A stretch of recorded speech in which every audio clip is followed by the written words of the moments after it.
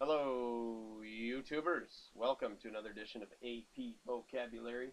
Bruce is on the scene and he's thinking about making an appearance in this video. We'll see if I can convince him to come up here or not. He's hesitant, he's shy, but we're going to be talking about uh, the Islamic heartlands from 1750 to 1900 and what was going on in and around Egypt in North Africa and the Middle East.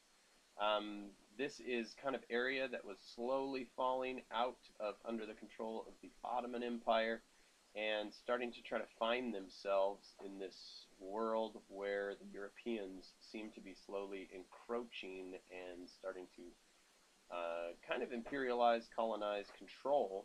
Uh, and so the, the Islamic heartlands ways of dealing with that, essentially kind of what happened. So we're going to look at a few different vocab words. We're going to look at Murad uh, from Egypt of the Mamluk dynasty and what happened with the French and the Mamluks when they battled.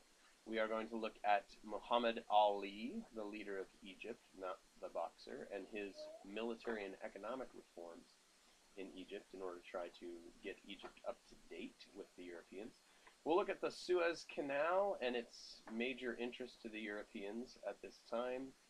Then we'll take a look at some differing opinions on how the uh, Islamic heartlands should react to this European invasion.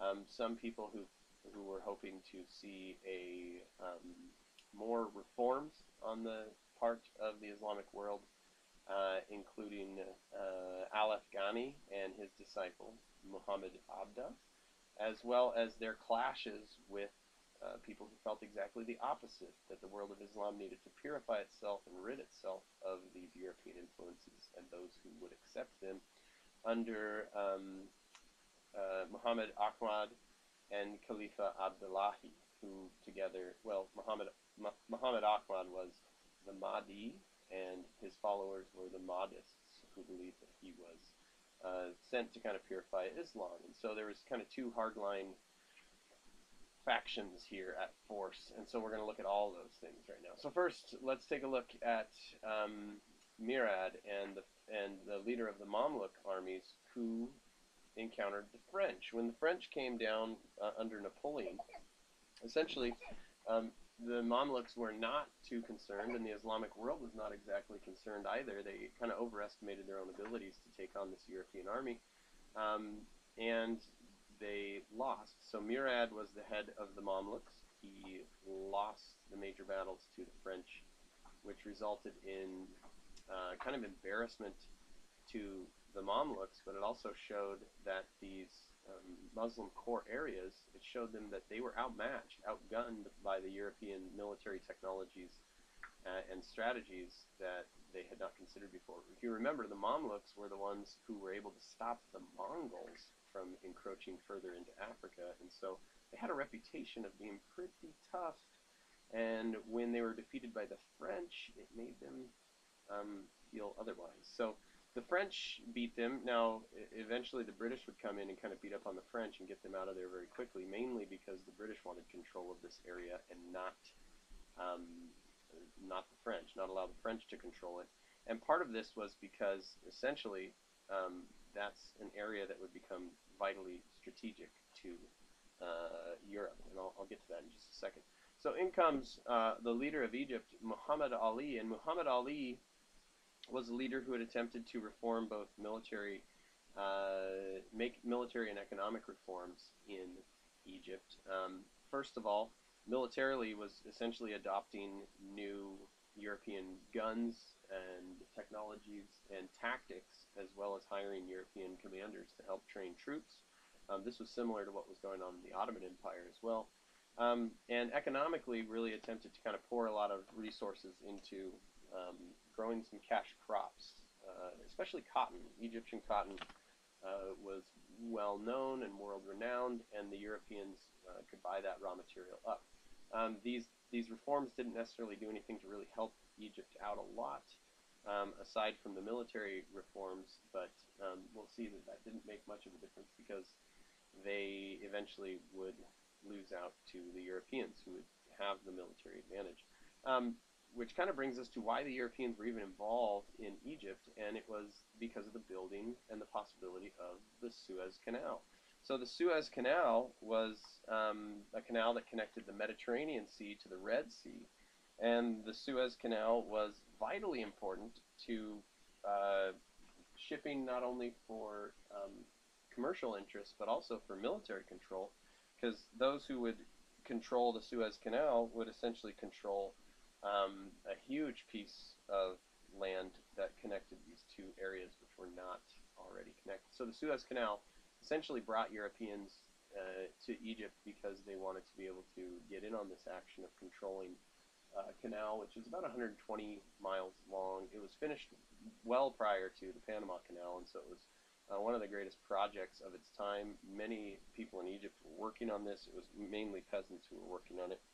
It was finished in the late 1800s, and essentially the Europeans wanted control of this Suez Canal. So um, while this was going on, and while the Europeans were essentially coming into and commercially and militarily controlling Egypt, there was kind of a debate among the Egyptians. There were those who believed, such as al-Afghani and uh, his disciple, Muhammad Abduh, who thought that basically the Islamic world needed to embrace some of these um, changes, especially those with uh, learning, math, and science stressed above anything else and um, they wanted to see the Muslim world kind of move forward. Uh, on the other hand, there were these traditional Muslim scholars who believed that purification of Islam required that the expulsion of these European forces. They wanted to get rid of the Europeans and opposed any meddling outside. So it basically created two factions within Egypt.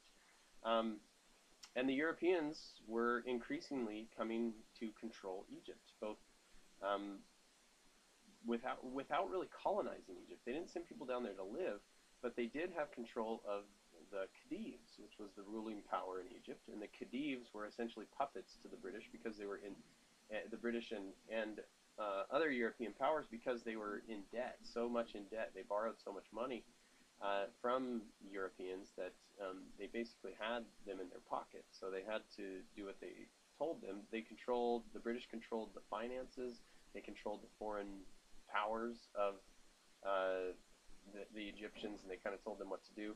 And eventually, it became kind of too much, and so there was a rebellion, and the rebellion was led by Muhammad Ahmad, and Muhammad Ahmad was known as Mahdi, and Mahdi is a uh, a reference to kind of the savior who would show the true way to purify Islam um, from those who opposed it. And so Mahdi call, called for basically to bring Islam back to its original purity, claiming that those who would favor um, new reforms were against Islam. And so uh, he opposed any Egyptians and Europeans who were trying to reform Islam or at least reform the region.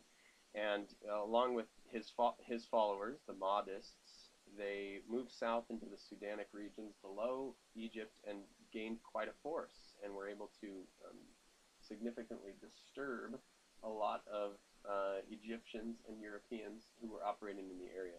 It became a little bit too much. After Mahdi died, his rebellion lived on under uh, his disciple Khalifa Abdullahi, and um, they would continue to militarily oppose those Europeans and Egyptians who wanted reform uh, until eventually the Europeans, their eventual fate was uh, they were kind of hunted down, and the largest factions of them were destroyed by British troops uh, who were wielding much more powerful weapons at the time. So uh, this was prior to the outbreak of World War One, and Europe was very firmly in control of Egypt at this time, and uh, Egyptians were trying to come to terms with how they should deal with that. So there was a a broad array of responses. So uh, we'll come back and believe it or not, within the same chapter, we're going to talk about China and how they responded to the European um, imperialism and basically control from outside. So for the time being, that's that's all I got for you. Be awesome and take care of yourself.